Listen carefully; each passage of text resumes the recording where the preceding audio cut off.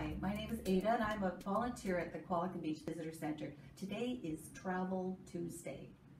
My favorite thing about Qualicum Beach is, quite obviously, the beach. I am a serious tide watcher. I watch the tides. When the tide's in, that's a great time to take your kayak, paddleboard down to the beach and, and enjoy a nice, calm day. Uh, when the tide is out, I like to go for a walk on the beach. You can walk in either direction for a long time. Um, also, if the tide is just coming back in, that's a great time to go for a swim. And that's when the water is the warmest. So go out and enjoy the beach. Thanks for watching and check back in next week for another Travel Tuesday tip.